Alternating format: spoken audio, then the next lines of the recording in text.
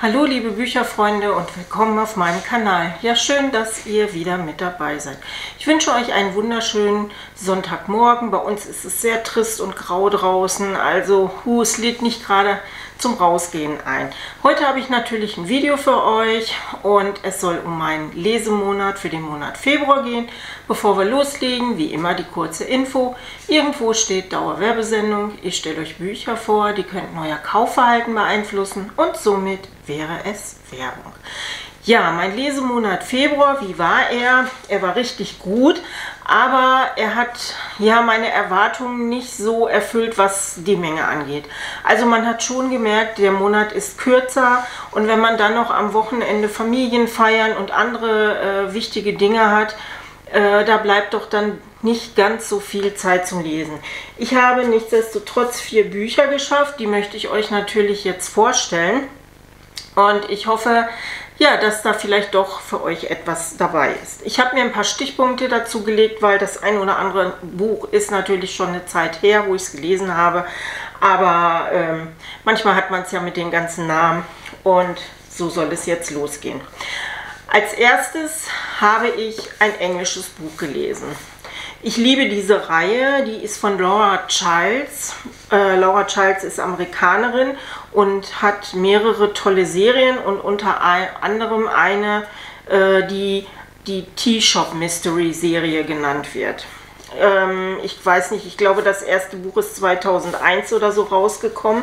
Leider sind nur die ersten, ich glaube drei, die ersten drei Bücher übersetzt worden. Ansonsten ist die ganze Serie in Englisch und die ersten vier Bücher sind in so einem kleinen niedlichen Taschenbuch äh, rausgekommen und danach gab es Hardcover und diese Hardcover, die sind allerliebst. Die sind wunderschön gestaltet und gezeichnet. Aber ich hatte Lust, mal wieder ein englisches Buch zu lesen. Und da es Urzeiten her ist, dass ich ja diese Bücher gelesen habe, habe ich gedacht, ich mache das mal. Das erste Buch heißt Death by Darjeeling. Ähm, ist rausgekommen und wie gesagt, in Deutsch hieß es Tod beim Tee. Ähm, ich weiß nicht, warum die Serie nicht weiter auf Deutsch damals aufgelegt wurde. Vielleicht gab es einfach nicht genügend Leute, die die Bücher gekauft haben. Aber worum geht es? Es geht um Theodosia Browning. Die war ein richtiger äh, Workaholic, arbeitete in der Werbebranche und sie hatte ein hektisches Leben und wollte irgendwann ihren lang gehegten Wunsch oder Traum äh, erfüllen, nämlich einen Teeladen zu eröffnen. Sie lebt in Charleston in South Carolina, das ist auch ihre Heimatstadt. Und äh, als sie den Teeladen eröffnet, äh, sind alle hellauf begeistert und sie nennt ihren Laden äh, Indigo. Ja, es ist nun mal so, dass eines Tages äh, einer ihrer Gäste plötzlich tot umkippt, nachdem er einen Tee getrunken hat, nämlich einen Darjeeling. Und äh, die Polizei stellt heraus oder stellt fest, dass er durch eine töte, tödliche Dosis Gift ermordet worden ist. Ähm, sie hat in ihrem Laden zwei Angestellte, nämlich Haley und Bethany. Und sie hat noch einen Hund, der Earl Grey heißt und sie arbeitet ganz eng zusammen mit einem Teespezialisten, nämlich mit Drayton. Dieser Tote ist ein ganz bekannter und umstrittener Bauunternehmer, nämlich Hugh Barron. Und der Verdacht fällt ganz schnell auf ihre neue Angestellte Bethany. Die wird für die Polizei zur Hauptverdächtigen.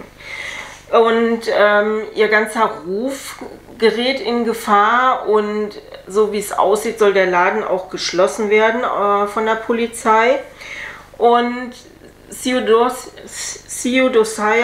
äh, fängt an zu recherchieren und stößt auf einige, auf einige Ungereimtheiten, aber nachdem die Polizei auch gesagt hat, ähm, dass ein Beweisstück ein ähm, Filter, ein Teefilter ist mit Fingerabdrücken, ähm, muss sie ganz schnell sich in diese Ermittlungen einklinken. Sie ist eine, ja, eine Abenteuerdetektivin und forscht nach. Sie kennt viele Leute und auch die Nebencharaktere äh, ja, sind, sind wundervoll.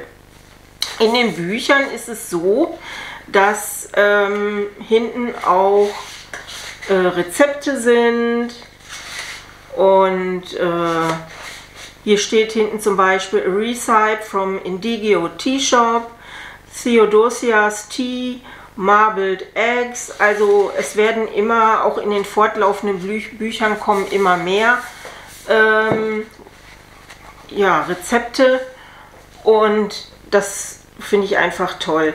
Es liest sich sehr gut. Ähm, anfänglich, ähm, ja, habe ich schon etwas gebraucht, um reinzukommen. Jetzt, das hing aber auch mit der äh, englischen Schreibweise zusammen, ähm, weil es kommt aus dem Amerikanischen und es ist schon das eine oder andere Wort, was man nicht so haargenau übersetzen kann. Ähm, aber aus dem Zusammenhang äh, versteht man eigentlich ganz genau, was gemeint ist. Es geht da eben um ausführliche äh, Beschreibungen oder so. Aber wenn man erst einmal drin ist, nachher liest es sich richtig gut und die Charaktere äh, wachsen einen am Herz. Ich liebe diese Reihe und äh, ich hatte jetzt nur äh, bei den letzten zwei Büchern nicht sofort reagiert und ähm, ja, sie mir bestellt. Und da ist es dann schwierig, im Nachhinein noch ja, diese Hardcover zu bekommen. Also ich glaube, diese Taschenbücher kriegt man immer noch alle recht gut. Aber wie gesagt, diese schönen Hardcover eben ja nicht. Ähm, ich kann euch diese Serie wärmstens am Herz, ans Herz legen, denn wer Tee mag, wer Krimis mag, für den ist das auf jeden Fall was. Und es ist schön geschrieben. Wie gesagt, die ersten drei Bücher könnt ihr noch auf Deutsch bekommen. Wenn ihr sie nicht mehr im Buchladen bekommt, ihr könnt sie auf jeden Fall noch irgendwo gebraucht kaufen. Ja, es ist eine locker fluckige Geschichte. Ähm, es geht um Krimi und ja, es ist nicht spektakuläres. Also wer jetzt irgendwie Action und wer weiß was erwartet, das sind halt diese schönen amerikanischen Cozy Krimis. Ja, hat mir mega gut gefallen und äh, kann ich euch nur empfehlen. So, als nächstes habe ich dann endlich ähm, das Buch von Bess O'Leary gelesen, Time to Love. Es ist in aller Munde, ganz, ganz viele Leute haben es schon gelesen, sind begeistert und ähm, ich habe gedacht, boah, du musst es auch endlich lesen. Ich weiß gar nicht, ob ich es jetzt von meiner Rache des Sub und von meinen 12 Books habe. Auf jeden Fall von irgendeiner Liste ähm, ist dieses Buch. Ja, ich glaube, ich brauche gar nicht viel erzählen. Die meisten Leute kennen das Buch. Aber äh, es hat mir einfach unglaublich gut gefallen. Ich fand es grandios. Die, aber wir wollen mal gucken, worum geht es eigentlich. Also es geht um Lena, die in London lebt, die äh, sozusagen Workaholic ist. Eines Tages vermasselt, sie eine Präsentation, wahrscheinlich weil sie einfach zu viel arbeitet. Und sie wird kurzerhand für zwei Monate suspendiert und soll endlich Urlaub machen. Nebenbei erfahren wir, dass sie ihre, ja, ihre tote Schwester sehr vermisst und sie weiß im Grunde genommen mit sich in London einfach gar nichts mehr anzufangen. Da kommt ihr die Idee, ich glaube, ich fahre nach Yorkshire, ich brauche Ruhe, ich besuche meine Großmutter Eileen in ihrem Häuschen und vielleicht kann ich da ein paar Tage bleiben, um einfach runterzukommen. Das macht sie auch, sie fährt dorthin und erfährt im gleichen Atemzuge, dass äh, ja, ihre Großmutter Eileen auch nicht so ganz glücklich ist. Sie ist Ende 70 und sie ist der Meinung, sie ist noch rüstig und das Leben hat einfach mehr zu bieten und sie möchte sich auf jeden Fall noch einmal ja, verlieben. Aber in dem Dorf, wo sie lebt, ist die Anzahl der Kandidaten nicht besonders groß und irgendwann kommt den beiden so eine Idee, nämlich die Häuser bzw. die Wohnorte zu wechseln. Das heißt, Lina bleibt in Yorkshire, hütet das Haus und genießt die Ruhe. Und Eileen geht nach London und stürzt sich ins Datingvergnügen. Sie zieht äh, in die WG ein, und geht dann eben online auf Partnersuche. Ja, und beide Frauen merken eben halt, wieso das Leben des anderen ist oder wie es überhaupt äh, ja, an den Standorten ist.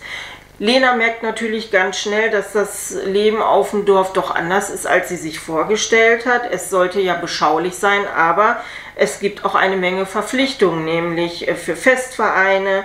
Dann äh, gibt es geschwätzige Nachbarn. Es gibt einen störrischen Labrador. Es gibt aber auch einen attraktiven Mann, nämlich Jackson. Und äh, ja, da stellt sich natürlich die Frage für beide, ähm, was ist, wenn irgendwann mal diese Zeit zu Ende geht und ähm, wie geht es dann weiter? Auch Eileen äh, ist hellauf begeistert von London und es ist alles sehr aufregend. Dieser Roman glänzt aber auch noch durch tolle Nebencharaktere in den einzelnen Orten, nämlich einmal in London und einmal in Yorkshire. Es ist sehr humorvoll geschrieben, dieses Buch. Also man kann so manches Mal richtig lachen. Es ist emotional. Ähm, ja, es ist lustig, aber es geht auch um ganz andere Themen. Es geht um eben um Trauerbewältigung. Es geht um, wenn man alt ist, um Einsamkeit. Es geht sogar auch darum, wie es ist, wenn man sich nochmal mit über 70 verliebt. Äh, weil viele meinen ja immer, ab einem gewissen Alter äh, hat man mit sowas nichts mehr am Hut. Aber äh, wo die Menschheit immer, ja, immer älter wird, ist es doch gar nicht so abwegig. Warum soll man nicht im hohen Alter sich nochmal verlieben können? Ja, ein rundrum tolles, gelungenes Buch. Ähm, es ja, so ein bisschen Liebe ist auch mit drin, aber es ist nicht das Main-Thema dieses äh, Buches. Mir hat es grandios gefallen. Ich habe dem Buch fünf Sterne gegeben. Vorhin bei dem Krimi habe ich vier Sterne vergeben. Es ist halt ein Cosi-Krimi. Ähm, es ist jetzt kein absolutes Highlight wie hier, was mir mega gut gefallen hat. Und ähm, ja, es hat mich ähm, total glücklich gemacht, dieses Buch zu lesen. Und ich habe das erste Buch noch, was sie geschrieben hat, ähm, auf dem Sub. Aber viele haben halt auch schon gesagt, dass dieses Buch halt noch einen Tacken besser ist als das andere. Ja, mega Buch. So, und dann habe ich ein Buch gelesen, was auch schon ähm, länger auf meinem Sub ist. Die liebe Beate vom Kanal Nerd Lounge hat das Buch auch empfohlen. Daraufhin bin ich ja damals aufmerksam geworden und habe es mir besorgt. Und dieses Buch ist von Katrin Bursek und heißt Unter dem Schnee. Ja, hier haben wir eine Geschichte, die uns ja, nach 1978 äh, führt. Und ich muss sagen, dieses Buch hat mir auch sehr gut gefallen. Ähm, es führt uns ja an die Ostsee auf, ähm, auf ein Schloss oder Gut Schwanenholz. Dort hat Luise von Schwan 50 Jahre lang ein hartes Regiment geführt. Sie hat dort eine Baumschule und ähm, selber hatte sie einen, also sie war verheiratet, hatte einen Sohn, der allerdings gestorben ist und äh, lebte dort mit ja, ihren oder sagen wir mal so, sie lebte nicht dort mit den Neffen, aber die Neffen haben für sie dort gearbeitet. Ja, es ist nun so, dass die alte Lady gestorben ist und alle Familienangehörigen kommen nun auf das Schloss, um eh ihre Trauerfeier einmal zu zelebrieren und ähm, eben auch um zu sehen, wie es denn da so mit dem Erbe aussieht. Und äh, zur gleichen Zeit äh, es ist Winter, kommt ein, ja, ein ganz großer, heftiger Schneesturm auf, der es verhindert, dass die Trauerfeier durchgeführt werden kann. Und kurz bevor alles eingeschneit ist, taucht noch ein Gast aus aus Frankreich, nämlich eine junge Frau, die Emi heißt. Wir treffen jetzt nun, oder wir, wir, ja, wir erleben lauter Personen, die jetzt auf diesem Schloss sich zurzeit aufhalten und die nicht weg können aufgrund des Schneesturms, weil man wird zugeschneit, man wird eingeschneit Und alle Charaktere, die dort sind, müssen A miteinander auskommen, müssen B klarkommen, weil irgendwann wird ja auch alles knapp. Wenn man so fünf Tage äh, ununterbrochen nicht raus kann, weil es so hohe Schneewehen gibt, dass man eben nicht raus kann, kann so ein, auch ein großes Schloss oder Gut schnell zu einer Enge werden. Und es ist so, dass auch Geheimnisse ans Licht kommen, die alle sozusagen unter dem Schnee bedeckt waren. Wir haben einmal eine Haushälterin, Isa Wollin. Wir haben äh, Clementine, das ist die Schwester von der Toten.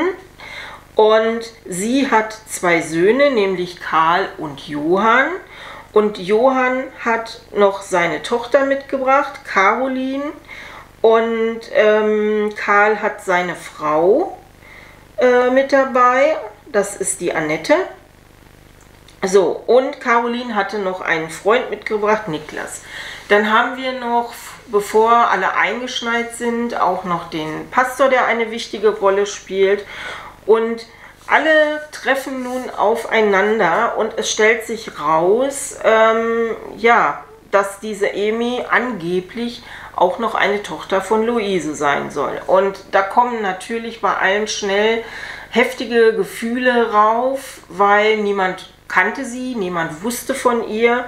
Und äh, selbst Clementine, die Schwester äh, von Luise von Schwan, ahnt etwas, war sich aber wohl auch nie sicher, denn auch sie ähm, kämpft mit alten Dämonen. Sie ist damals mit ihren Söhnen aus Ostpreußen geflüchtet und ähm, ja vor den Russen und ist froh, dass sie halt sozusagen erstmal bei ihrer Schwester Unterschlupf hatte. Denn sie hatte selber ein Gut in Ostpreußen, aber das wurde ihnen weggenommen. Und auf ihrer Flucht haben sie auch viel Schlimmes erlebt, was sie geprägt hat, was aber auch ihre Söhne geprägt hat. Und nun kommt alles teilweise ans Licht, auch noch andere Geheimnisse. Und ich muss sagen, das Buch hat mir richtig gut gefallen, weil ähm, es zeigt mal wieder auf, welche Abgründe Menschen haben, wenn sie in so einer Notsituation sind. Ähm, ja, es kommt schnell Hass, kommt ans Tageslicht. Es kommt aber auch sowas wie Eifersucht ähm, ja, oder Futterneid selbst auf. Und ich muss sagen, mir hat auch die Haushälterin unheimlich gut gefallen, Isa Wollen, denn die spielt in dieser Geschichte auch eine wichtige Rolle. Erkannte sie Luise total gut, sie kennt ihre Geheimnisse und sie versucht zwischen allen zu vermitteln, weil sie halt die meisten auch sehr mag und liebt. Und das ist nicht immer einfach für sie, besonders wenn ihr Fragen gestellt werden. Ein rundum gutes Buch, spannend, ähm, wenn auch sehr ruhig, dadurch, dass es ja an einem und demselben Ort so ziemlich spielt. Aber wir erfahren natürlich auch Sachen aus der Vergangenheit, aus dem Zweiten Weltkrieg. Da geht es ja auch darum, dass viele große Güter Zwangsarbeiter hatten. Und äh, irgendwann kommt auch diese Frage auf, ob das auch auf, äh, ja, auf Schloss Schwanholz so war. Und ich kann euch das Buch nur empfehlen. Es ist eine tolle Familiengeschichte mit, ja, Krimi-Einzügen würde ich nicht sagen. Also es ist einfach eine Familiengeschichte, die sehr spannend erzählt ist und die viele Charaktere beschreibt. Was man noch wissen muss, jedes Kapitel handelt immer wieder von einer anderen Person. Das heißt also, wir springen immer zwischen den Personen hin und her und erfahren wieder deren Sicht, was sie gerade denken, wie sie sich gerade fühlen und auch was sie teilweise erlebt haben. Manch einer kommt da vielleicht nicht so gut mit klar, dass es halt immer wieder hin und her geht, aber mich hat es nicht gestört. Ganz im Gegenteil, ich fand es ganz interessant, wieder äh, so ja, einen Einblick zu bekommen in diese einzelnen Personen. Ja, hat mir mega gefallen. Ich würde sagen, ja, so vier, vier bis viereinhalb Sterne. Ja. So, und dann als letztes habe ich natürlich Band 3 von Anne Stern gelesen, Fräulein Gold, der Himmel über der Stadt. Auch dieser Band hat mich wieder total gepackt. Wir sind wieder in Berlin, wir sind bei sind 1924 jetzt in dieser Geschichte. Es ist so, dass die Hebamme Hulda Gold inzwischen einen Posten in der Frauenklinik hat in Berlin Mitte. Und ähm, ja, sie hat dort ganz andere Aufgaben. Klar, sie muss sich auch um die Schwangeren kümmern und auch nachher um die Neugeborenen. Aber den eigentlichen Geburtsvorgang, damit hat sie nichts mehr zu tun. Das machen nämlich alles Männer. Die Geburtshilfe ist modern, und eines Tages kommt es zu einem ja, tragischen Todesfall. Eine junge Schwangere stirbt bei der Operation und ausgerechnet der ehrgeizige Chefgynäkologe Egon Breitenstein ähm, ja, verhaspelt sich so ein bisschen in Widersprüche und ähm, Hulda, ja, die, sehr, die ein Gespür und Antennen für solche Dinge hat, spürt irgendwas, irgendwas stimmt hier nicht. Ähm, sie merkt auch, dass unter den Männern so kleine Machtrangeleien sind, weil es geht um einen guten Posten, der besetzt werden soll und naja, wie das dann so ist, so kleine Machtkämpfe. Auch in ihrem Privatleben, ja, ändert sich so, ändert sich so ein bisschen was, ähm, aber man weiß ja, wie es ist, wenn sich irgendwo eine Tür schließt, geht woanders wieder eine neue Tür auf. Und ähm, sie muss natürlich auch erkennen, dass es ja einerseits Vorteile hat, wenn man einen festen Job in einer Klinik hat, dann geregeltes Geld bekommt, aber auf der anderen Seite äh, nicht mehr das machen darf, was sie vorher so geliebt hat, nämlich den Frauen helfen und auch bei den Geburten viel aktiver mit dabei zu sein. Aber sie merkt auch, dass durch diese moderne Medizin manchen Frauen noch geholfen werden kann, die woanders oder sagen wir mal in ihrer Wohnung womöglich gestorben sind. Ja, ein unglaublich tolles Buch wieder. Ich bin begeistert und ich werde auf jeden Fall weiterlesen. Ich habe ja schon in meinen Neuzugängen erwähnt, dass ich Band 4 von der lieben Elfriede, einer Abonnentin, bekommen habe und so dass ich bald weiterlesen kann. Ich weiß jetzt nicht, ob ich es im März schaffe, ich denke nicht, aber äh, spätestens im Mai geht es dann weiter mit Band 4. Ja, es zeigt auch noch mal wieder auf, wie auch heute noch, was die Frauen für, für einen Stand hatten, wie es im Berufsleben aussah 1924, dass eben wichtige Posten nur durch die Männer ähm, ja durchgeführt wurden, dass man auch immer gesagt hat, ach du bist eine Frau, kümmer du dich äh, um das, was dir zusteht oder was du machen kannst, aber lass die wichtigen Sachen doch durch die Männer äh, durchführen.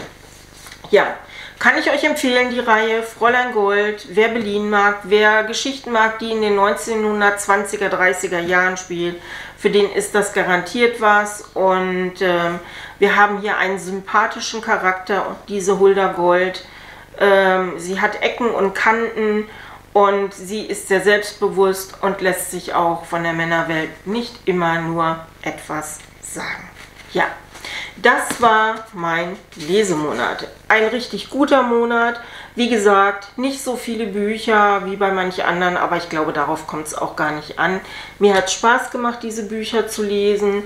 Ich fand sie gut und ich habe wieder mal keinen Flop und auch kein durchschnittliches Buch dabei, sondern richtig rundrum gute Bücher.